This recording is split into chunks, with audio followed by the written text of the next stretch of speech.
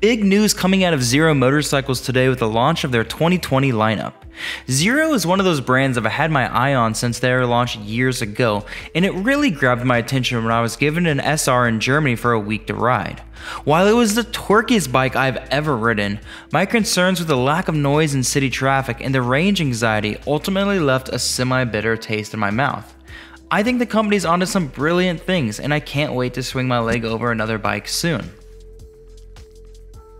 Now, as for their 2020 lineup, the company redefining the electric motorcycle market is pushing for new adventures by launching the Black Forest DSR global model as part of their revamped 2020 base model lineup. Not a lot of big changes are happening across their lineup as they just launched the transformational 2020 SRF earlier in the year. As for the other bikes within the range, all of them will enjoy refreshed colors, graphics, and the power and precision of the Cypher 2 and Cypher 3 operating systems. Complementing the powerful Cypher operating systems, every 2020 Zero motorcycle will possess an updated next gen app that provides effortless connection to the motorcycle's custom ride modes, charging status, updates, and diagnostics. Now, think of the rest of this video as a bit of a book. In the pinned comments, there will be a timestamp for each chapter, also known each new bike. The first chapter will focus on the Black Forest DSR. So, the Black Forest DSR. There's a lot of talk about here. The first one is that in the press photos, the top box is mounted backwards facing the rider. Now, glad we got that out of the way. The DSR Black Forest Edition enters the US market as the pinnacle dual sport motorcycle in the Zero 2020 lineup. Arriving with a history of riding success overseas, Zero now brings this EU favorite to the US equipped with three lockable cases for ample storage, accessory bars, handguards, and a protective headlamp covers for added protection for the rider and the bike.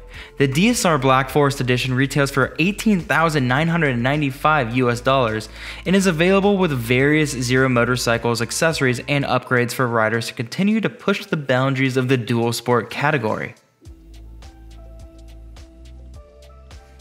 Now, Chapter 2 The 2020 DS Model.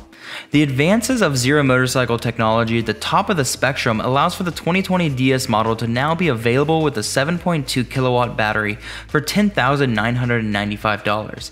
The 2020 DS will now sport new colors and graphics in the Mojave colorway and will carry more adventure essentials with its increased onboard storage, making it the ideal option for riders looking to begin their electric dual sport riding.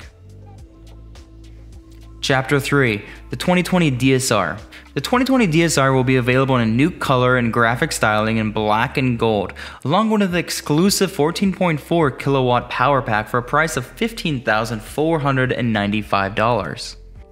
Next chapter, the 2020 FX. For narrow paths and quicker maneuvers, the light and nimble 2020 Zero FX is also updated with new graphics in the Dune colorway and starts at $8,995. Zero's focus on technology and affordability make the 2020 Zero motorcycles model line the most accessible and capable way to enjoy adventure riding. Now that they've got the dirt bikes out of the way, let's jump to the street bikes of Zero's lineup. Next chapter, the S and the SR.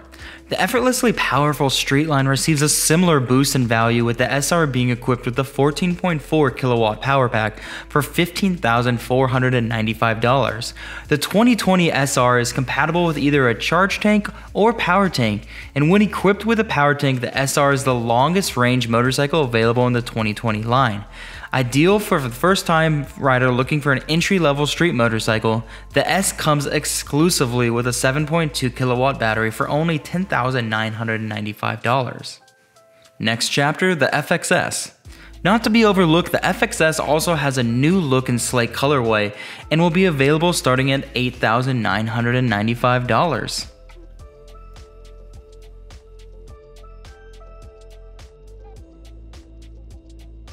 Now, what's my overtake on these bikes? I'm glad that some of the prices have dropped a bit from the previous year, as there's starting to be more competition in the field. Zero is absolutely leading the way in terms of technology, but they need to come out with a bike that will once and for all crush range anxiety. But those are my thoughts. What are your thoughts on Zero's new lineup?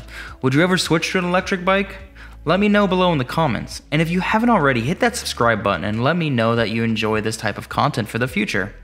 That's it for now, guys. Go out there and ride safe.